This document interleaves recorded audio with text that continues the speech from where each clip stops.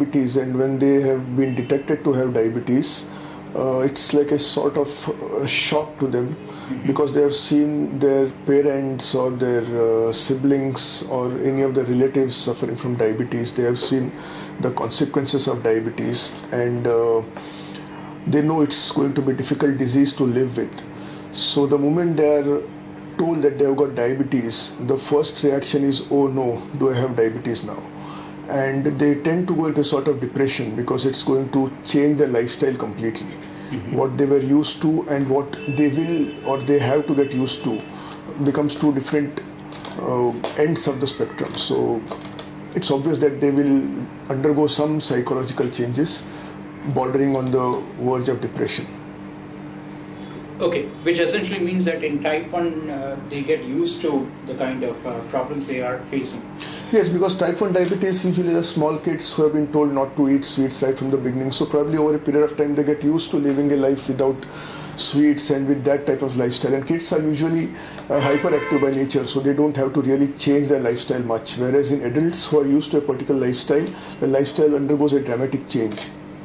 Dr. Kolke, uh, more than the sweets and the, uh, the diet, uh, I guess it's about the uh, related disorders which uh, actually put the fear of God in uh, diabetics, especially when it comes to organ failure, the heart problem, the diabetic foot problem, and especially if they see in their neighborhood somebody having a problem, that's where the, the depression starts.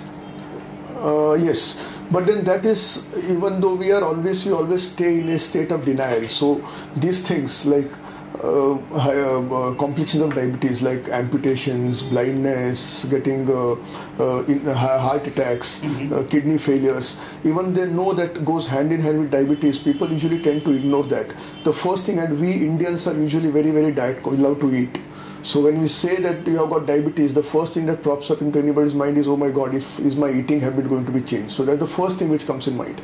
All these things go hand in hand, but then it takes time for them to sink in. That takes a little time to actually get used to the fact that diabetes is going to cause these problems later on. What do you think are the major reasons for the sudden spurt in type 2 diabetes in young people?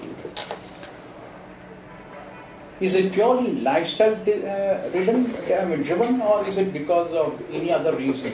It could be genetical, or is it? There, there is definitely an element of uh, genetics, hereditary, but then there are quite a few number of patients whom we are seeing nowadays where the parents don't have any history of diabetes. There is no history of diabetes in the siblings, but patients come with new onset diabetes, especially the younger kids, and it's mostly because of lifestyle.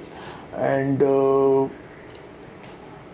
we are now having a lifestyle, a fast life in which we are used to eating fast food, junk food, seeing more of television, less of activity, and with the advent of internet and smartphones, we are usually more on phones all the time. We play games on the phone, we don't play out, and we play virtual cricket, virtual tennis, virtual table tennis, virtual football. We really don't go on the ground and play the games. So we are we have more or less become armchair players so all these coupled together have added to the increase and spurt in type 2 diabetes. Uh, doctor, among the diabetics, it's a very popular notion that, you know, uh, it's a prosperity which is leading to diabetes. Because the thrifty genes essentially tell you that, you know, we are made or the composition of our body is such that Indians should be eating less and should be, uh, you know, probably even fasting more rather than eating so much. It's the availability of food which has caused diabetes epidemic.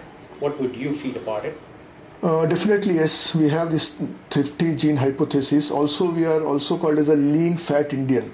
Uh, for example, if you see a person who is about uh, lean 65 kgs, mm-hmm. who is thin but has a small pot belly, and if you see a Western white guy who is about say 90 kgs, you will find that the Indian who is about 65 kgs has more fat in his body than that uh, American or a Western white European who has less fat in his body. So we basically have more fat in our body, even though we are lean. So it's not that a lean person will not get diabetes. That's number one. And what you're saying about thrifty gene hypothesis is definitely true.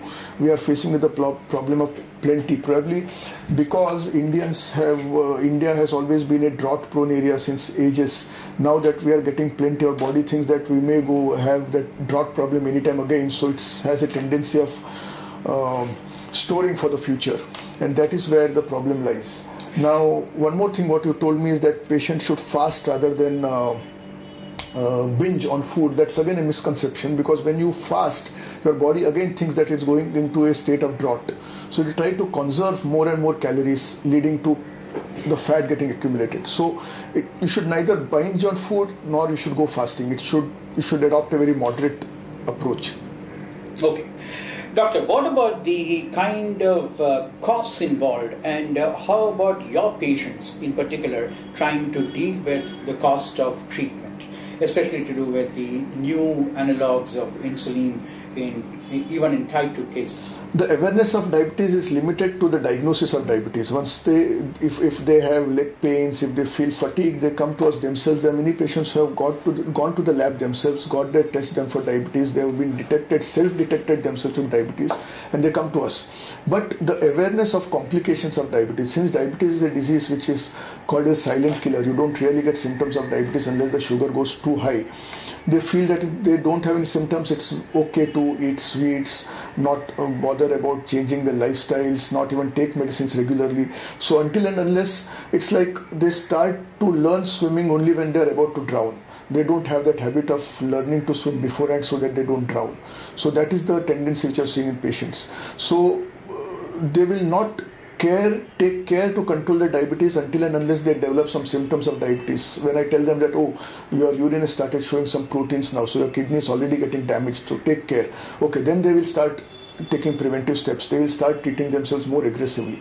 Once they develop a heart attack then they will start treating the diabetes more seriously. But otherwise taking care of diabetes when they don't have any symptoms don't have any complications is not as good as it is when they start getting complications. So, doctor, you know, what is the, basically the idea of counseling people in, when it comes to educating them about the danger of diabetes, according to you?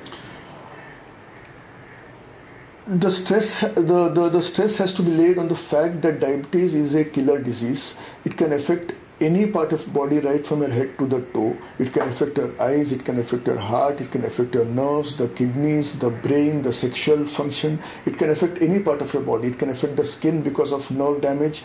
So it has to be uh, deeply ingrained into their brains that diabetes is a disease which can cause multiple problems can damage their lifestyle completely if it's not treated it's not just about uh, getting the sugar values within normal limits, but seeing to it very properly that none of the organs are damaged. So, and that can take place only when diabetes is controlled very well right from the beginning, not once the organ gets affected.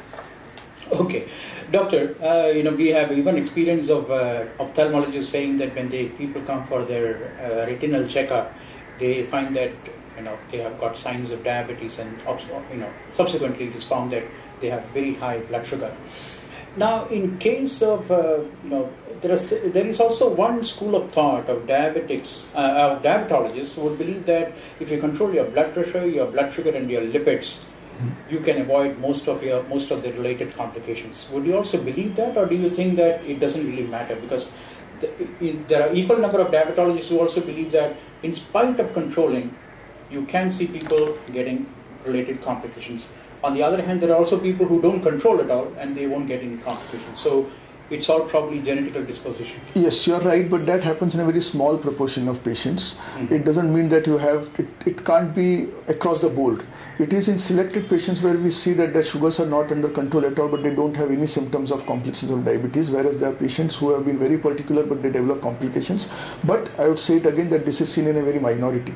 Most of the patients, uncontrolled diabetes goes hand in hand with complications controlled diabetes, the complication is much less. Again, it depends on at what stage you start controlling diabetes. If you control diabetes right at the beginning, right at the onset when the diabetes was diagnosed, mm-hmm. you don't have complications later on. There is something called as, it's very interesting at this point of time for me to mention that there's something called as metabolic memory Metabolic memory means if a person is newly diagnosed diabetes and his diabetes in the first two or three years of diagnosis is very well controlled and later on the diabetes is not well controlled, the chances of such a person developing complications is much less mm-hmm. as compared to somebody who does not control his diabetes in the initial stages of diagnosis but later on when he develops a little bit of some shock and then controls the diabetes. In such patient the complications will go on and on even though the diabetes is controlled very well later on.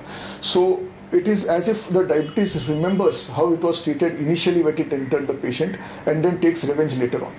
So it's something of that sort. Doctor, we also got uh, emails asking about specific issues.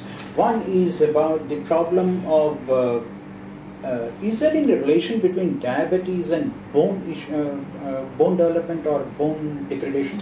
Uh, diabetics are more prone to develop osteoporosis. Uh, coincidentally, diabetics also have deficiency of vitamin D3, and uh, such people usually have osteoporosis. So it usually goes hand in hand. So, like I said, diabetes is a disorder which can affect any part of your body system.